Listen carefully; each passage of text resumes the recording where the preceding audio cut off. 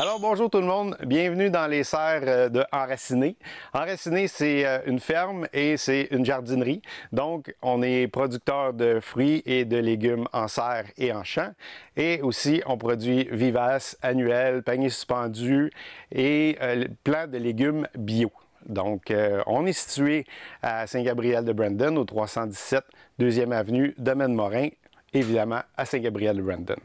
On est sur la terre euh, de mon beau-père, donc euh, je suis propriétaire avec Mélanie, euh, ma conjointe. mon beau-père a acheté cette terre-là il y a une trentaine d'années et nous, on a décidé de l'exploiter. Donc, c'est pour ça qu'on a formé Enraciné. Moi, pour ma part, ça fait 35 ans que je suis euh, dans le domaine de, l'horticulture. Euh, j'ai une formation euh, en, comme horticulteur et j'ai suivi ma formation en 88-89, donc faites le calcul, ça fait longtemps. Et j'ai eu une entreprise d'aménagement paysager. J'ai travaillé pour le Centre de formation horticole de Laval pendant 17 ans. Et puis, depuis deux ans, notre troisième saison, nous sommes enracinés à Saint-Gabriel-de-Brandon. C'est vrai que ça a commencé il y a 34 ans, mais ça a commencé bien plus tôt. Je vous dirais, à 4-5 ans, j'avais déjà un jardin que mon grand-père m'avait euh, fait faire et je vendais des concombres à des clients que lui vendait pas. Donc, euh, mon grand-père était un producteur agricole. Dans le temps, on ne les appelait pas les producteurs agricoles, on les appelait euh, des cultivateurs. Donc, ils cultivaient la terre. Maintenant, nous aussi, on cultive la terre. Donc, aujourd'hui, on va vous parler de semis. Euh, la première chose à faire quand on achète des semis, euh, c'est important de se faire un calendrier. Donc, pour ne pas partir des semis trop tôt, pour qu'ils restent trop longtemps à l'intérieur et puis qu'ils étiolent si on n'a pas assez de lumière. donc, l'étiolement, c'est les plantes qui viennent très longues, évidemment. On ne veut pas ça avant qu'on les plante au jardin. Donc, quand on va acheter nos semences, nous, on prend les semences du jardin, des jardins écoumènes. Sur leur site, vous allez voir le temps de production euh, en contenant. Donc, euh, ce temps de production-là est toujours spécifié. Et ce qu'on fait, c'est qu'on évite euh, de, trop tôt. Donc, ce qu'on prend, c'est la dernière, la dernière date de gelée de votre région. Et puis, du temps de production en contenant, ben, on remonte le temps et puis on produit, là, on, sème, on sème les, les semences qui sont en temps à semer. Donc, euh, c'est sûr que les oignons, poireaux, euh, échalotes euh, et tout ça, ben, ça commence très tôt. Tandis que si on prend, on prend pour les, tomates, ben, c'est un petit peu plus tard. Et puis après ça, la laitue, et ainsi de suite. Donc, c'est important de se faire un bon calendrier avant de commencer pour ne pas débuter les semis trop tôt.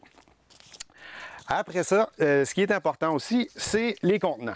Donc, on peut prendre euh, à peu près n'importe quoi pour euh, faire du semis.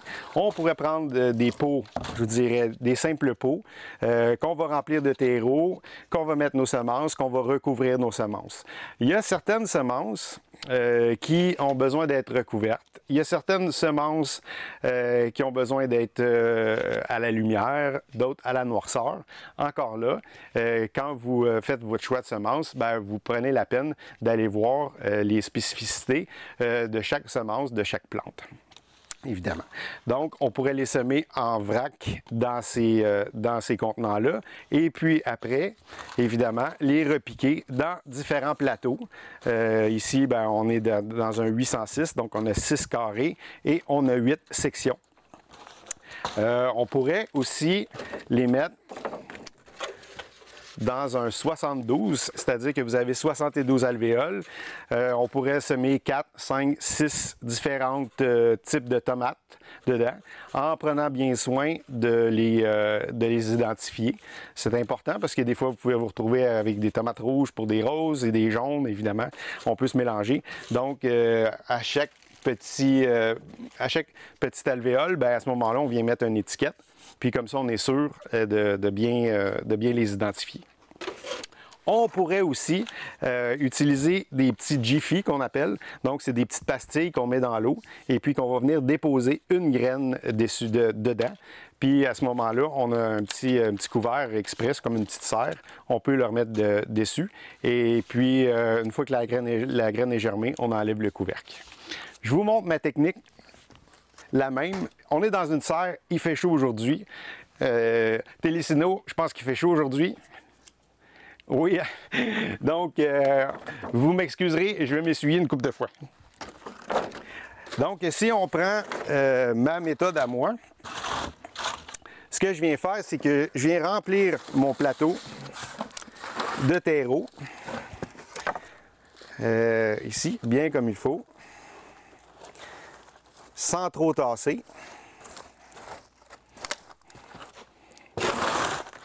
Après, on donne un, deux, trois, comme les trois petits coups, tout en sortant de la chambre, comme disait le chanteur célèbre. Et puis, si on veut, on peut prendre différents outils pour niveler comme il faut notre terreau. Donc, on vient niveler avec une truelle. Donc, on nivelle bien notre surface. On prend nos semences. Ici, euh, j'ai un petit, euh, un petit semoir qui s'ajuste. Donc, vous avez ici dans le bas la grosseur des semences qui peut être distribuée. Donc, c'est plus facile à contrôler euh, votre, votre semence qui tombe. Donc, vous insérez les semences à l'intérieur et vous venez les distribuer également dans tous les petites alvéoles. Je vous dirais que vous pouvez environ mettre une quinzaine de semences par alvéole dans le cas d'un 806. Dans le cas d'un 804, comme j'ai ici, ben, vous pourriez aller jusqu'à 25. Donc, euh, dans un plateau, vous êtes capable de semer euh, presque l'entièreté euh, de vos plants pour votre potager. Donc, ça, c'est parfait. Par après, une fois que vos semences ont été bien distribuées et que vous avez vraiment identifié chaque case avec une étiquette pour être sûr de qu'est-ce qui est quoi ou où qu'est-ce que vous avez mis.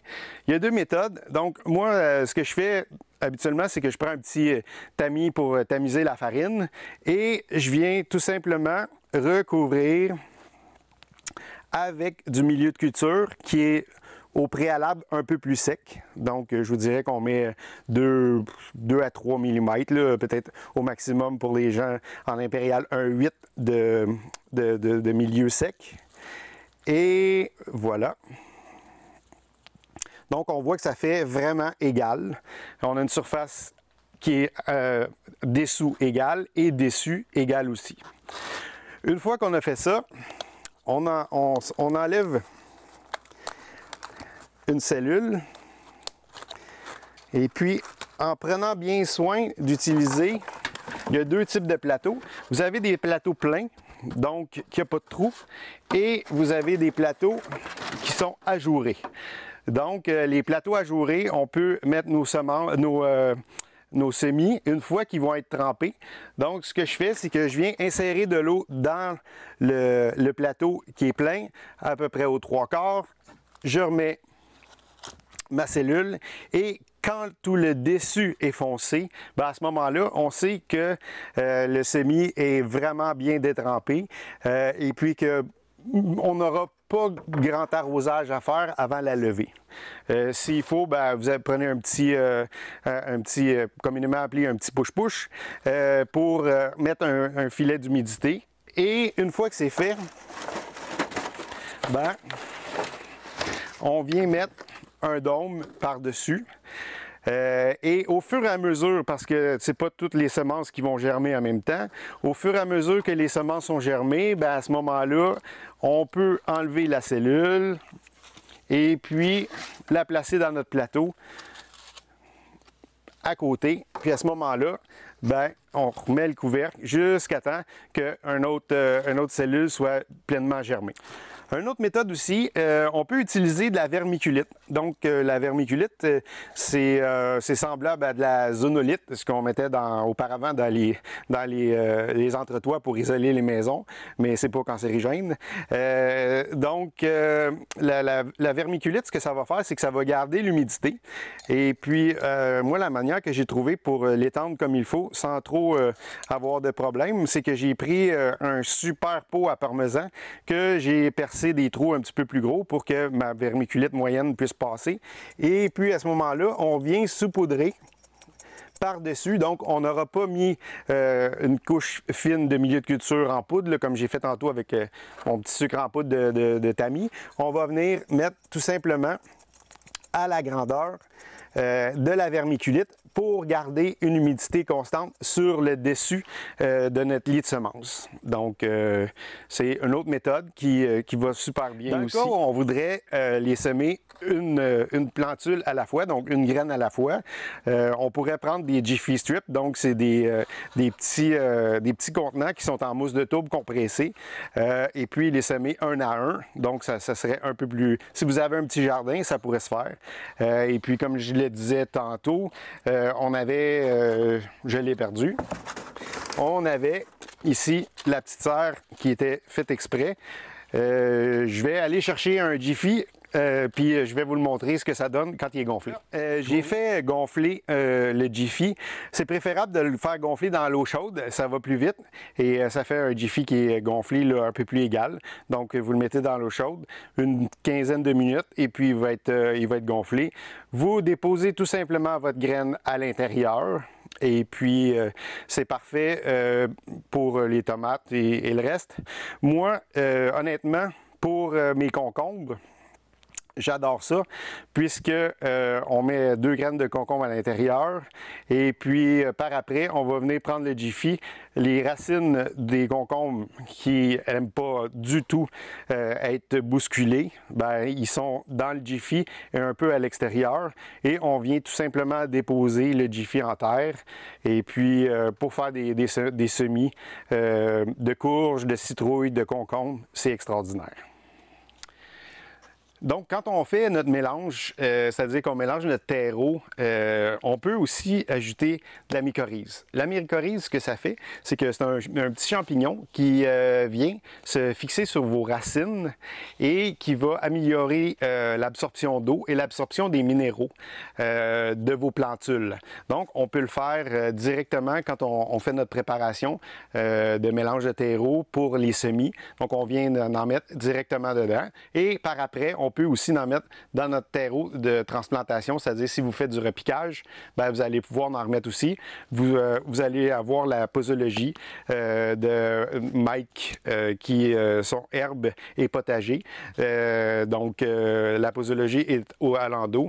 Faites juste vérifier, puis une petite cope à l'intérieur, donc c'est facile à mesurer. Ça, c'est va pour la mycorhize. Euh, maintenant, on peut aussi fertiliser. Donc, euh, vous avez euh, le fertilisant bionique, pour pas le nommer, qui est super pour tout ce qui est semis. Là aussi, vous avez une petite, une petite cope à l'intérieur qui va vous donner le nombre de copes que vous devez mettre avec le nombre de litres de terreau que vous avez utilisé pour votre semis. Donc, le premier va donner des armes à votre plante pour euh, absorber les minéraux et l'eau. Le bionique, lui, ce qu'il va faire, c'est qu'il va nourrir votre plante. Euh, la mycorhize, elle, euh, donne des armes. L'engrais bionique, qui est, en soit dit passant, ici, on est en bio, donc on n'utilise que des engrais et des, terreaux qui sont approuvés biologiques. Ce que ça va faire, c'est que ça va nourrir euh, la plante. Vous avez du 6, 1, 5, donc azote, phosphore, potassium, qui va être donné à vos plantules. Comme euh, c'est important de pas trop en mettre non plus, donc on peut en mettre, mais vérifier la posologie. Regardez toujours à, l'arrière du sachet. Puis si vous n'êtes pas sûr, vérifiez sur le site Internet de la compagnie. Ils vont vous donner plus amples informations pour fertiliser vos plantules. Donc, on vous a parlé des semis à l'intérieur. Donc, on part à l'avance euh, parce que c'est des plantes qui demandent une longue période de croissance. Euh, à la fin euh, de l'hiver, au printemps, euh, on, les fait à l'intérieur. Une fois que la neige est fondue, il y a aussi des semis qui se font à l'extérieur. Donc, c'est pas toutes les, plantes qui vont se semer à l'intérieur. Il y en a aussi qui se sèment à l'extérieur, comme les radis, les fèves, les betteraves, ces choses-là. Il y a aussi des périodes. Donc, vous avez des, plantes, des, légumes qui vont se semer plus tôt et il y a des légumes qui vont se semer plus tard. Donc, euh, si on parle des radis, ben, on peut se mettre ça tôt en saison, même s'il fait encore un peu froid. C'est sûr que d'éviter les gelées. Donc, les courges, évidemment, c'est les derniers. Courges, citrouilles, concombres, euh, c'est les derniers. Donc, je vous dirais ici, dans le coin de Saint-Gabriel, euh, ça va pas bien avant la première de juin, deuxième de juin, pour être assuré qu'il n'y ait plus de gel. C'est vrai aussi avec les, autres, les autres plantes. Donc, éviter d'essayer de de planter au jardin un peu trop tôt. Vérifiez toujours euh, Météo Média pour ne pas le nommer, à savoir s'il y a encore des risques de gel au sol. Vérifiez la zone où vous êtes. Donc, euh, souvent, Saint-Gabriel, euh, Joliette, Montréal, vous avez des températures minimum qui sont très différentes. Il peut faire 15 degrés la nuit à Montréal, mais il peut, peut faire 4 degrés ici à Saint-Gabriel. La dernière pleine lune de mai, ils disent que euh, on devrait normalement plus avoir de gelée après la dernière pleine lune de mai. Des fois, elle est très tardive, euh, mais je vous dirais de vérifier quand même euh, Météo Média pour vous assurer que vous avez plus de gel sur une période de au moins 15 jours pour planter au jardin tout ce que vous avez déjà parti à l'intérieur. c'est sûr que c'est plate que ça gèle euh, une nuit, euh, puis que vous avez eu tout ce travail-là qui a été fait en amont. Donc, pour nous rendre visite, c'est le 317 2e avenue Domaine Morin à Saint-Gabriel-de-Brandon. Si vous voulez commander en ligne, notre site est transactionnel. Donc, vous allez sur ranciné.ca et puis euh, vous allez pouvoir commander directement sur notre site. Sinon, vous pouvez nous envoyer des questions à info commercial enraciné.ca et le numéro de téléphone est le 450-835-7668. Au plaisir de vous voir en jardinerie. On espère que le printemps arrivera bientôt. Merci.